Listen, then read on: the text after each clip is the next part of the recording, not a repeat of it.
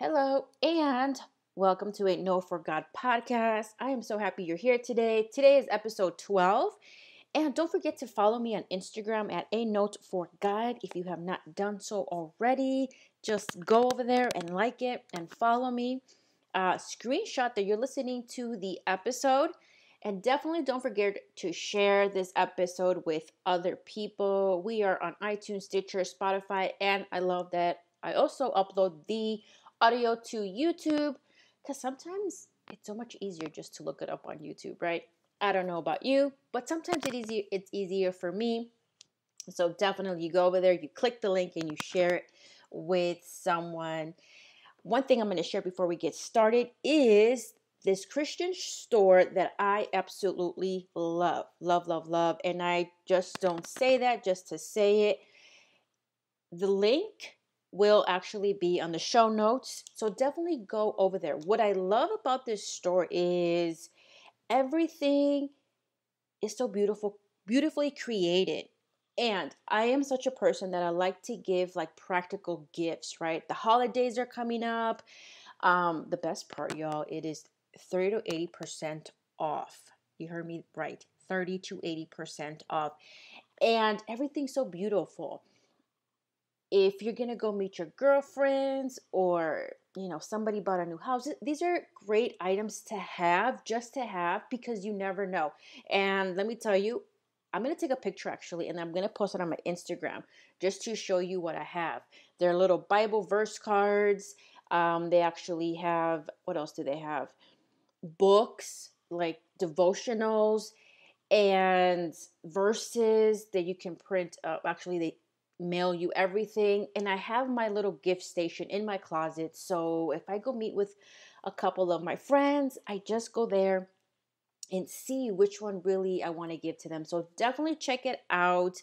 I love this store. I am an affiliate, so I do get a small uh, commission. But once you're there, you're going to love it. Like, it's absolutely the only really Christian store online that I shop for.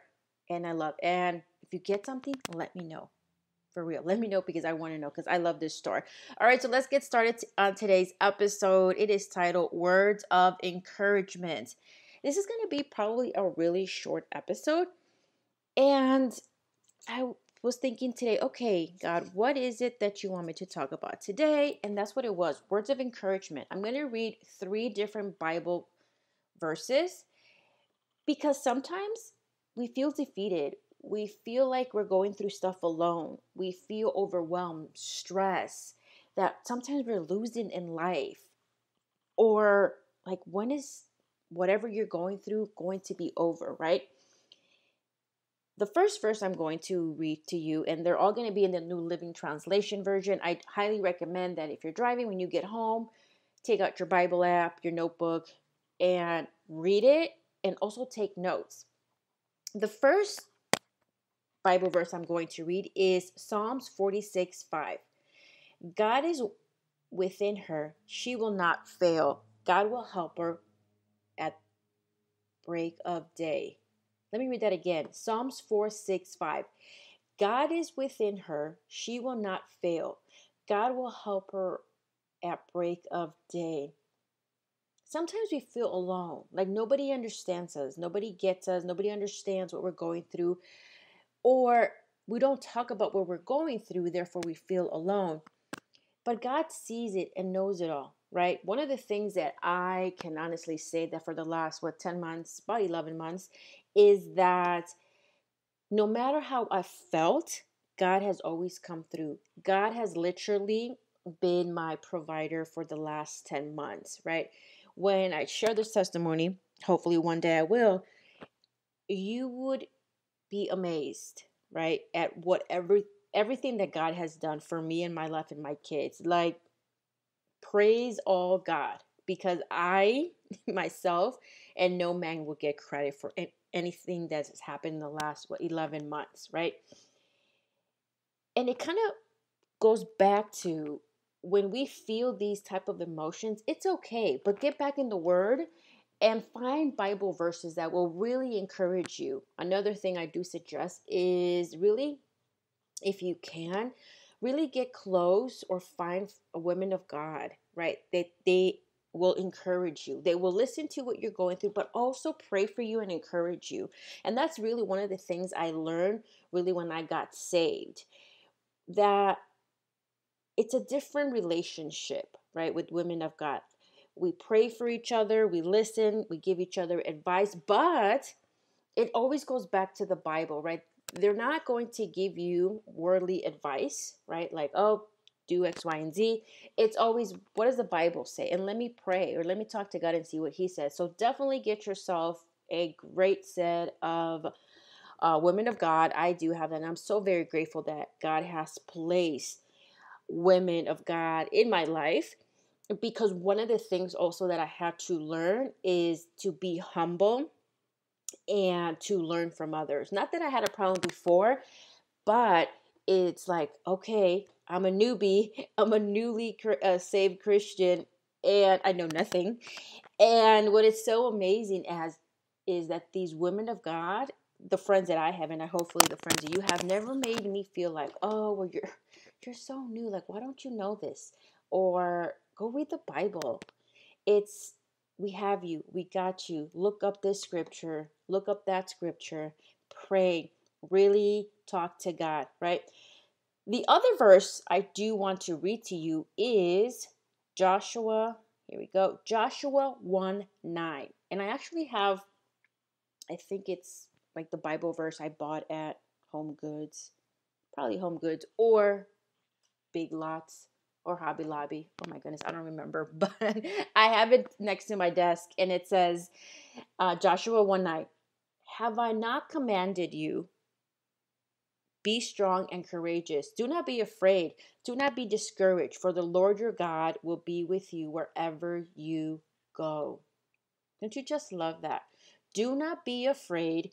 Do not be discouraged, for the Lord your God will be with you wherever you go. And that's something I also had to learn. If I felt defeated, discouraged, like stressing, like, how am I going to do this? And I knew God told me to do something. I just had to remind myself, God, you told me to do this. So I know you're going to be my provider. I know you're going to make a way. So therefore, I really don't have to worry or stress. I know, I know what you're saying, but I stress. I know we all stress. But little by little, you stop worrying about that and really have faith. God told me to do X, Y, and Z. I was obedient. Now, God, it's up to you because you told me, right? So definitely, I know Trust me, sometimes it's not as easy. I've been there, done that. sometimes I'm like stressing now, like, you told me to do this, so I don't see results. But it's kind of bringing it back to say, okay, you told me to do X, Y, and Z. I did it, and now you're in charge. You're going to lead the way, right? Which brings me to Matthew 6 26 7. And I really want you to read this one maybe even screenshot it or share it or, or definitely write it. And it says, Look at the birds. They do not plant or harvest or store food in barns, for your heavenly Father feeds them. And aren't you far more valuable to Him than they are? Can all your worries at a single moment to your life? The specific line that really brings it all together for me is, and Aren't you far more valuable to him than they are? Right? He is always going to provide. And if you look at what he said before, look at the birds. They don't plant or harvest or store food in the barns. Like they're not worried, right? They know their God is going to provide for them.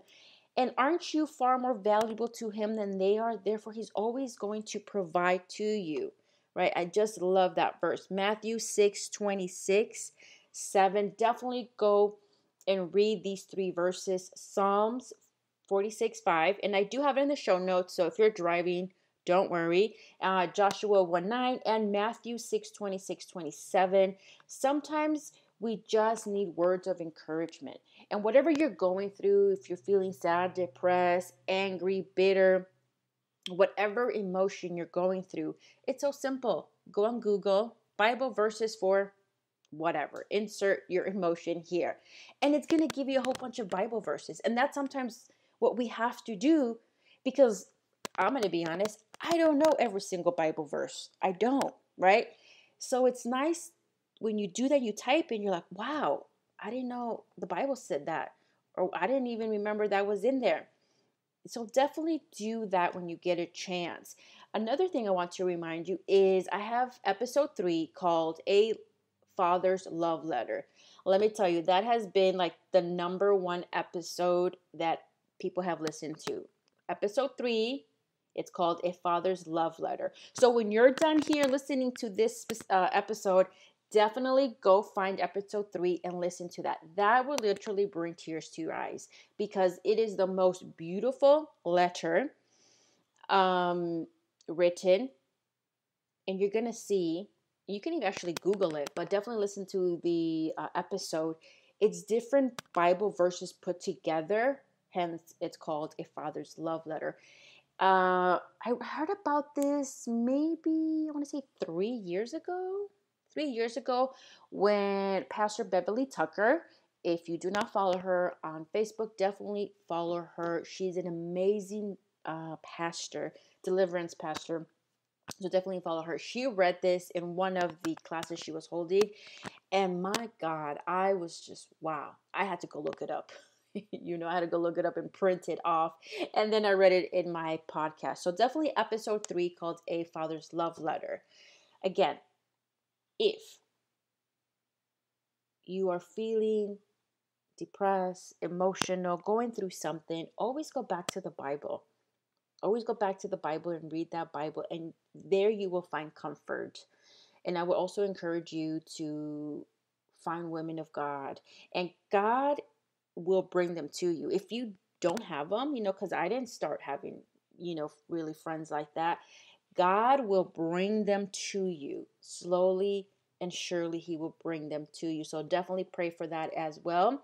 I hope you enjoyed this episode. Again, I really want you to go read those three Bible verses. They're super short, like you see. And sometimes for us to remember, we sometimes have to write it down, right? So take that Bible verse and write it down. There's something about writing it that will make you remember it better, right? I guess as a teacher, I always say that to my students. Um, I hope you enjoyed this episode. And I'm ending with Matthew 25 23, because when I close my eyes in this world and open up my eyes to see God, my Father, I want Him to reach His hand out to me and say, Well done, good and faithful servant.